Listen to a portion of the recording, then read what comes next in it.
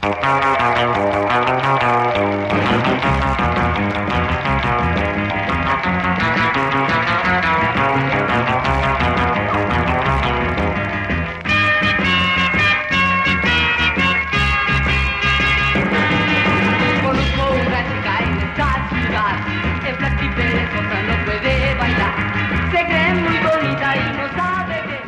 Para la Tribuna TV, hoy tenemos una importante visita de la coordinadora del evento del 137 aniversario del Instituto Central Vicente Cáceres, para cual las jóvenes nos han eh, pues, venido a visitar hoy y la profesora Del Migalindo nos va a hablar de cómo será este evento, profesora.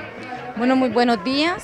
Eh, estamos invitando a cada uno de los jóvenes que están en el Instituto Central Vicente Cáceres, a cada uno de los egresados también, para que este próximo 28 de agosto, a partir de la una de la tarde, en lo que es el, el gimnasio de nuestro instituto, nos acompañe para poder hacer la elección de la chica del Central 2015. Háblenos de esta elección de la chica. ¿Cuántas jóvenes son las que están participando?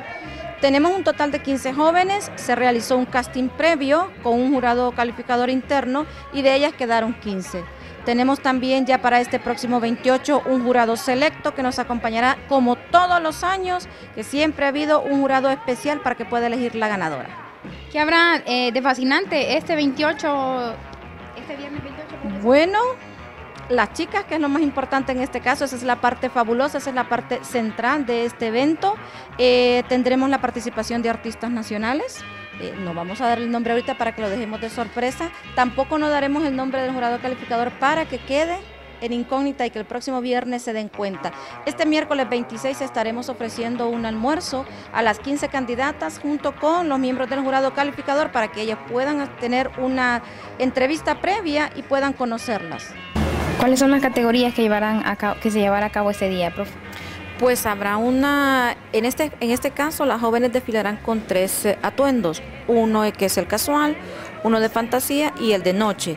En el caso del, del de fantasía, cada una de ellas hará una representación de algún lugar especial, llevarán un nombre sofisticado el traje, el presentador explicará qué representa ese traje y en el momento que ellas estén terminando su desfile, el jurado calificador hará su, sumará su puntuación y en ese mismo momento van a decidir cuál es el mejor traje de la noche, en el caso de fantasía.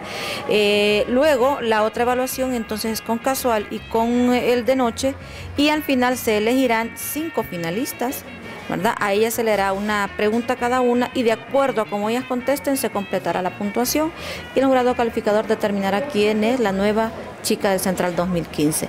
¿Qué premiaciones habrá? Chica Cultura, Chica Amistad, em, Chica Fotogénica, Elegancia, Mejor Sonrisa, em, ¿qué más? Mejor Rostro, Mejor Pose, entre otras. Ah, el día viernes, a todos aquellos que deseen eh, ingresar al Instituto Central Vicente Cáceres deben pagar eh, un boletito de 25 lempiras. Deberán presentar en la entrada de nuestro instituto una identificación para no tener ningún problema. Así que los invitamos, 25 lempiras, una de la tarde, viernes 28 de agosto, en el gimnasio del Instituto Central Vicente Cáceres. ¿Cómo podemos hacer las personas que ya tienen, los chicos que ya tienen su chica favorita?